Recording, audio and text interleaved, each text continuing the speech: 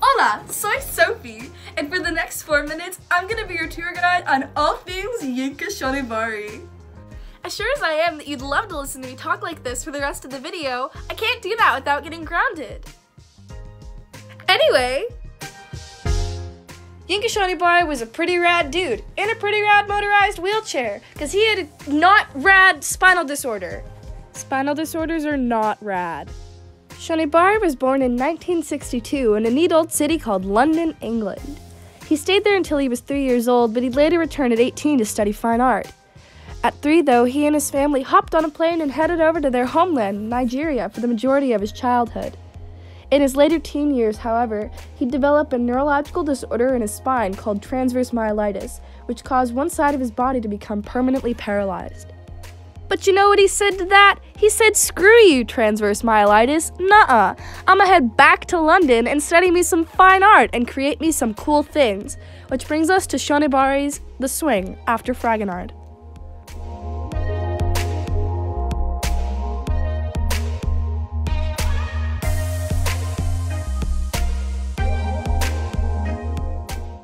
This is The Swing after Fragonard by Yinka Shonibare based off of The Swing by Fragonard, which is from the Rococo period of early France. Currently, it is in London and was created in 2001 by Shonibare's team of assistants, considering he is wheelchair bound. The media includes fake foliage, a mannequin, and Dutch wax fabrics. In the piece, we see all of the fundamental parts of Fragonard's original oil on canvas. We see a woman situated on a swing in luscious skirts that float around her. She lifts her right leg flirtatiously into the air as her slipper is flung off, a symbol of her promiscuity. It is a frozen moment in time. However, take a look at the installation in comparison to the oil painting. Although they are strikingly similar, there are two obvious differences in particular that set them apart. The skirts, for example, as opposed to the pastel rococo pink, they've been replaced by geometric, almost African patterns and bright, flashy colors. Another would be the absence of the head on the sculpture, whereas obviously in the oil painting, the woman has a head. These two obvious differences each have their own interpretations, the absence of a head being a nod to the grisly use of the guillotine against French aristocracy in the Reign of Terror of the 19, sorry, 1790s, and the patterns on the lady's skirts jabbing at stereotypical quote unquote ethnic representation in modernist pieces.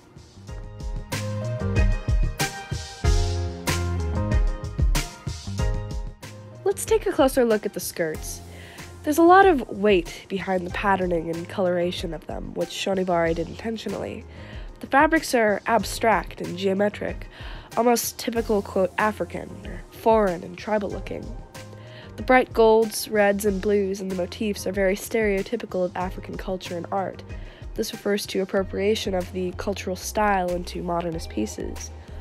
Shonibare uses the patterns as means of exploring this stereotype as it can only be assumed that these patterns are African.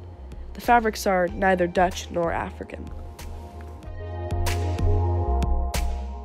The symbolism in the skirts actually has a lot in common with the overall function of the installation. With this, Shonibare meant to establish connections between the French Revolution, the Enlightenment, and the colonial expansion into Africa that was going on at the time of those other two. Shonibare designed the piece by choosing allegories that are popular and easily recognized for stereotyping race, class, corruption, and greed. He conveys the idea that history is a construction.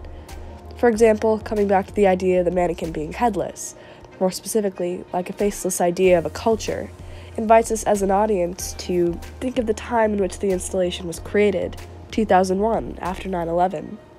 This refers particularly to the aftermath of 9 11, the building tensions between races and classes.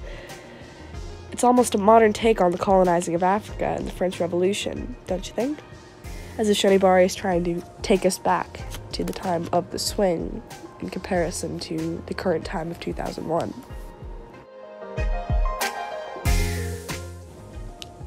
Taking a look at another work by Shonibare, here's The Scramble for Africa. Like the swing after Fragonard, the same Dutch wax fabric is shown in the suits, hence the geometric patterns and the bright colors. It was created in 2003 and includes 14 mannequins, 14 chairs, and a long table. Do you know what I think of when I see the swing after Fragonard? I think of Hawaii, because that's a logical path of thought. Whoa! Right, right there. Did I just hear you ask yourself, what is that cool thing that guy is wearing on his cool self? Well, let me tell you, that thing right there is an Ahu'ula feather cape from Hawaii. And this cool thing is a segue into our next image. The Ahu'ula feather cape is from pre-1850s Hawaii. It's made of a lot of fiber and feather.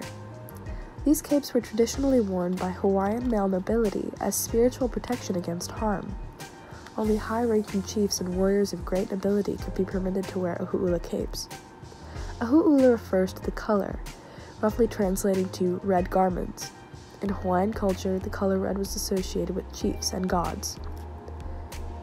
As they were viewed as being protective of the wearer, these cloaks would be worn alongside a cap into ceremonies and battle. Each cape is custom to the man it suits. The neckline was shaped specifically to fit the wearer, and no two designs on the cape were the same. These cloaks commanded respect and were highly valuable, but not only for their prestige. This is due to the scarcity of yellow feathers in Hawaii. The Ahu'ula made their way to Europe when a Hawaiian chief confused a sea captain and his crew, Captain Cook, for one of their primary gods, Lono, and laid a number of the cloaks at their feet.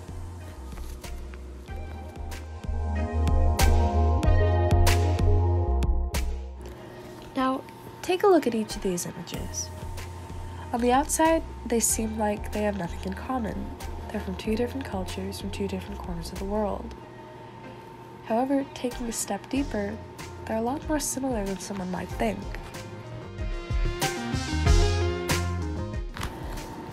Both Shonibare and the Hawaiian Ahu'ula capes utilize color to convey a deeper meaning. Take the swing, particularly the ladies' skirts. As discussed previously, the skirts contain complex symbolism that link historic events from France to Africa all together. It's the Dutch wax fabric, the colors of the Dutch wax fabric, the rich reds, golds, and blues that draw the train of thought from this French Rococo woman suspended on a swing to colonization in Africa. Similarly, the color nearly defines the Ahu'ula cape, red. The bold presence of red is what connects the wearer to the ultimate function. To revisit what has previously been stated, red is the color of Hawaiian royalty. Although the colors exhibit separate meanings, what connects the two works is the fact that the use of color is the same. Each of the works use color as symbolism to convey the ultimate meaning.